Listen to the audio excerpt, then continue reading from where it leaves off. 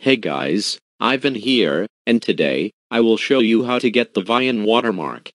Note, this will only work for the legacy video maker and non-business themes, not Vyond Studio or business themes.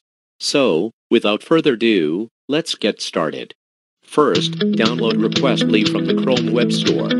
When it's finished, click on the Requestly icon and click on Open App. Now, click on the green plus button. Click on the blue button that says Replace Host. Now, put these codes, they will be in the description. Then, click Save. Now select a video, and you've got the Vyond watermark on the right bottom.